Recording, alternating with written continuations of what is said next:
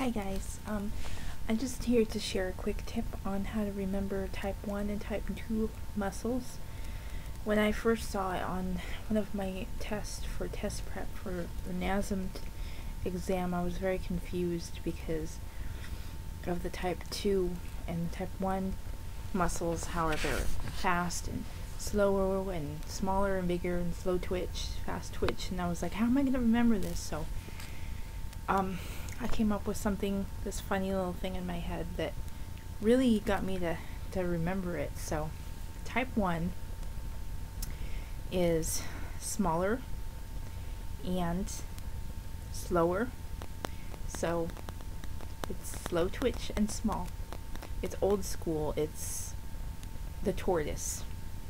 Or, as I said, kind of like a little old man, little, small, slow, and fast twitch is type 2 is the new and improved. It's fast it's bigger it's stronger it's the hare and um, or the young person.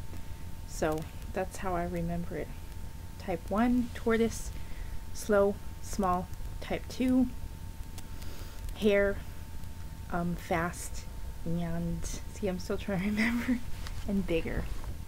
So I hope that helps anybody I am really looking to find out if anybody has any great tips or great resources or videos of anyone explaining tempo because I'm having a really hard time getting the concept of tempo down. And I know it has a lot to do with time under tension but I am starting a little bit to start to um, understand it but I really need some more help with that. So anybody studying NASM or any other personal trainer cert, just, you know, let me know. Or, you know, anybody else who has the experience in it. I really appreciate it. Um, good luck to anybody who is working to study. I'm going to be taking mine in January, hopefully, if I pass this class. And, um, yeah. Well, anyway, Merry Christmas, everybody. Bye.